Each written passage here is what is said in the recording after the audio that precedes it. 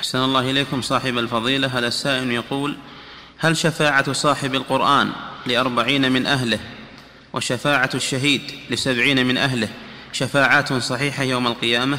والله ما أدري. عنه لازم من الوقوف على الأحاديث هذه. لكن الشفاعة حق ما في شك. الشهداء يشفعون الأولياء والصالحون وساد وأكبر وأكبر الصالحين الشهداء. نعم.